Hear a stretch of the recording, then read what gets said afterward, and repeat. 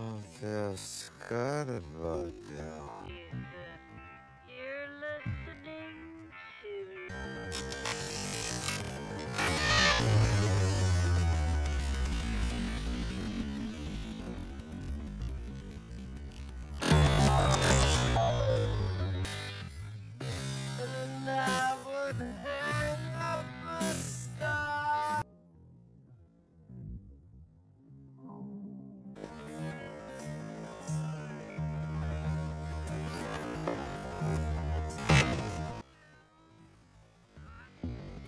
That is uh, the